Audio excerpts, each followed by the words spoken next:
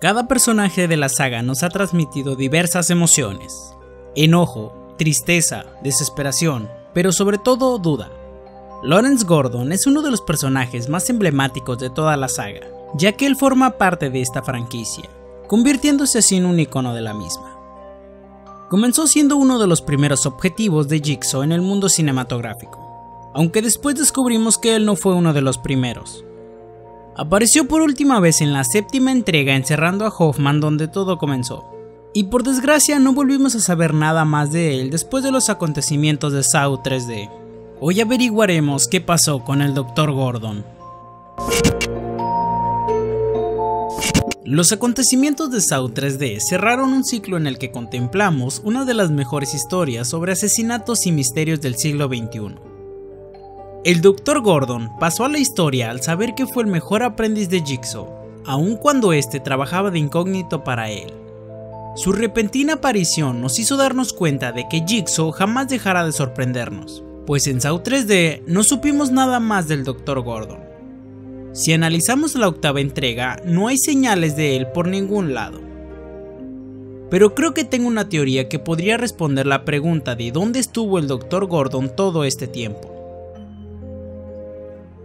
Comenzaría por decir que el Dr. Gordon, después de haber encerrado a Hoffman, ordenaría a Brad y Ryan que desaparecieran toda la información que los inculpase. Esto sería tarea fácil, ya que Hoffman acaba de cometer varios homicidios en la comisaría de policía.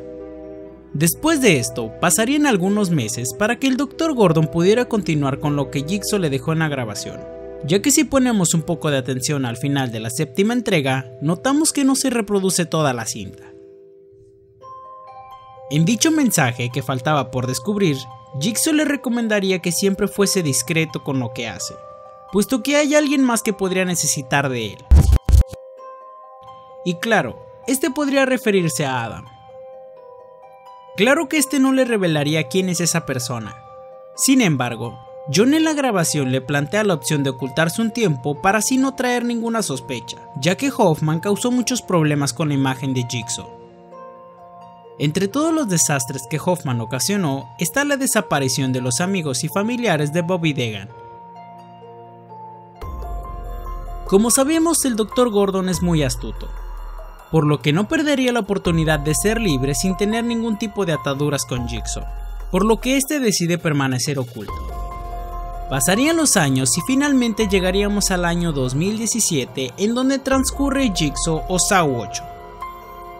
El Dr. Gordon, después de haberse mantenido en el anonimato y no verse envuelto en algo relacionado con John Kramer, se da cuenta de que alguien más está imitando su obra maestra.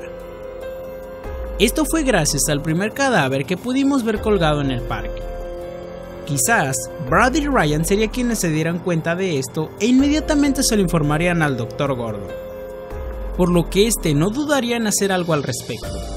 Durante los acontecimientos de Saw 8, el Dr. Gordon planearía el hundimiento de Logan, pero creo que alguien llegará a frustrar sus planes de una manera un poco apática.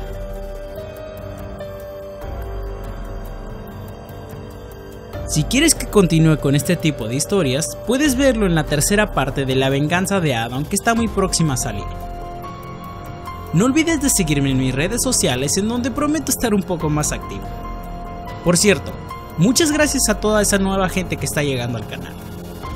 Si el video te gustó no olvides compartirlo con tus amigos en tus redes sociales. Yo soy Heavy, un placer y nos vemos en otro video. Adiós.